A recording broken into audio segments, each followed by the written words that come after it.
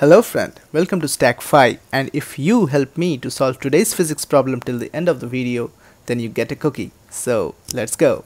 Hey what's up everyone, I hope all of you are doing great. This is Ramiz Zaman and let's start our video with X-rays. This video will be a short and simple video on X-rays. After completing this video, I hope you will be able to do any kind of question that might come in JEE without any problem. Okay.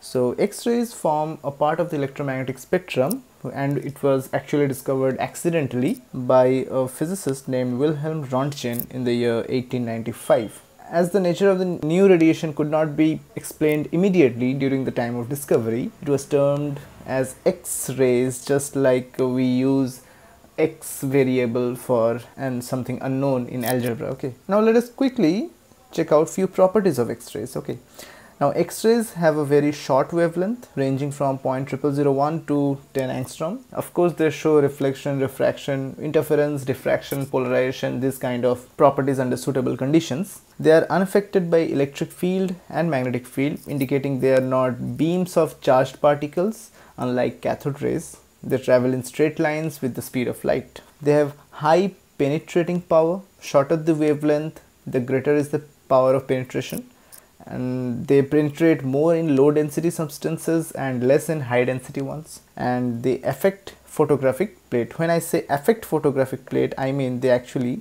blacken the photographic plate. That means in reality a photographic plate is somewhat whitish in nature. And when the x-ray falls on that plate it turns in black color. Okay. Now if you just observe a simple x-ray image of someone's left hand you can see that these white portions are those portions of the photographic plate where the x-ray is not falling actually. These surrounding is totally black because all the x-rays are falling because there is nothing to stop here. But here the bones uh, actually st stopping the x-ray which were trying to fall on the plate okay. Now as you see in this region the density of the bones is much more than the fingertips or as you go towards the fingers okay and the knuckles also there are very small lower density than this wrist area. Now from seeing this we can say that how our density of the bone varies with uh, position of the hand. Anyways uh, you will do much more experiments on x-rays once you go in engineering in metallurgy or chemical engineering. That is something we will discuss later on. Now how x-rays are actually produced. Now this is the arrangement of a Coolidge tube okay so this is a vacuum chamber made up of glass.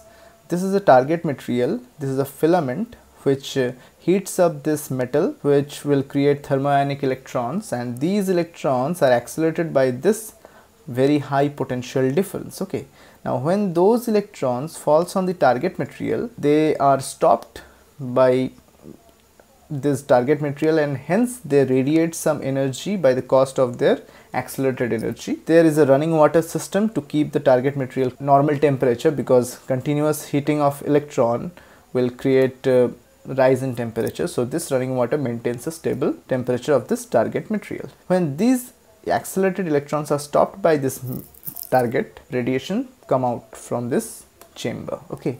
Now when these radiations are observed or studied properly by highly precise spectroscope, we see that the intensity varies with lambda like this. Okay. Now this intensity is varying as you can see it is a continuous in nature. There is some minimum wavelength associated for each and every accelerating potential difference. But here you can see that along with these continuous curves there are few spikes available. Now as you can see the spikes are only available for low value of target material, low Z value of target material. Whereas for high Z value of target material you won't see any peaks. Okay, first let me just uh, check the nomenclature here. These continuous lines are actually the continuous X-rays and these peak lines are the characteristic radiations. Okay, Char or we can say characteristic X-rays. So what does that mean? Why they are produced and we'll discuss within a few seconds. X-ray spectra can be divided into two parts. Please listen properly. We'll divide the continuous spectra and the characteristic spectra separately. Now for understanding the continuous spectra, you need to divide the X-ray spectra into two levels. Okay, one is in bulk level and one is in atomic level okay so let us understand what is bulk level when all those accelerated electrons from this metal falls on the target metal okay. Each electron were having and total energy of E times V where V is the potential difference across these two cathode and anode, and this V is actually kilovolt is in the order of kilovolts okay. I am considering all the energy gained by that by all those electron is actually utilized to create a radiation okay? Now of course all the energy won't be used right? And of course all the energy won't be lost also. So few portion few fraction of the total energy will be utilized for creating the radiation.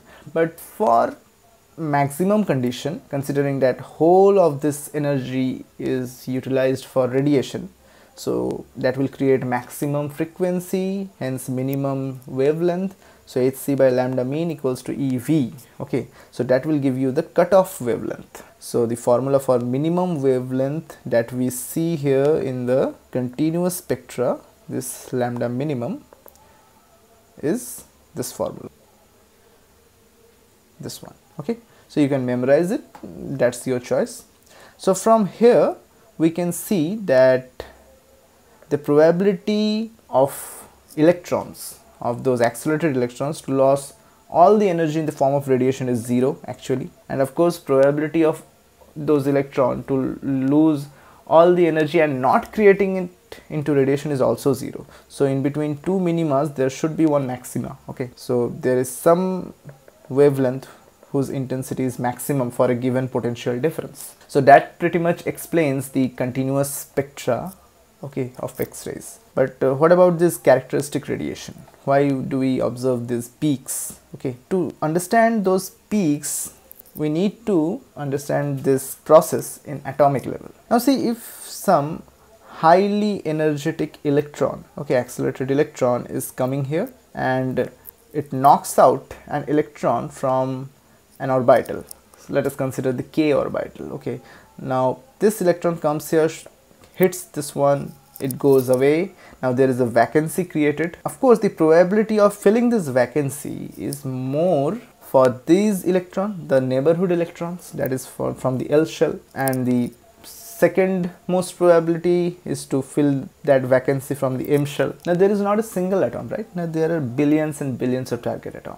So in some atoms the vacancy will be filled up from the from an electron coming from the L shell. Some atoms it will be filled up by the M shell right? Vacancy that is created on the K shell when it gets filled up by an electron from the L shell it will create a K alpha spike.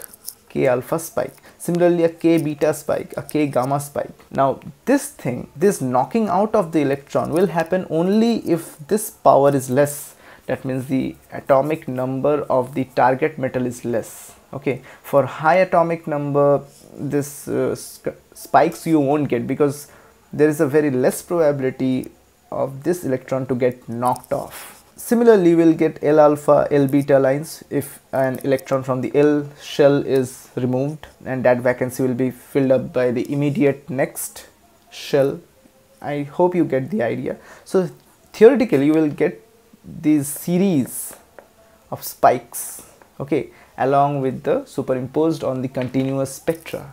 But in reality, you won't see these much spikes okay and when i say spikes that means on the intensity spectrum you'll get see you'll get to see some sharp lines which will represent the k alpha k beta k gamma or the l alpha l beta l gamma series okay? But in reality you won't see these many spikes. You will get to see only two or three maximum mainly two okay for each k l m. So theoretically there should be infinite number of spikes okay? But you won't observe most of them.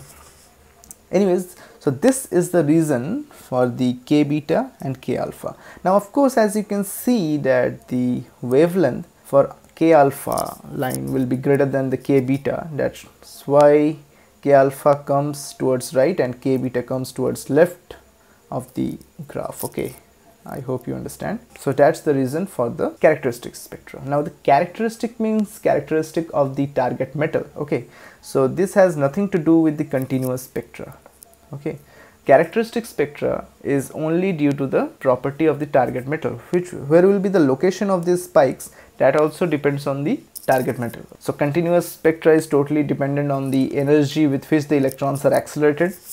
Characteristic spectra is totally dependent on the target metal. Anyways, these things you need to remember. Now Moseley did some investigation on this uh, X-ray using about 40 plus target materials. He observed the K series, L series and the M series for each and every target material. And he made this graph actually.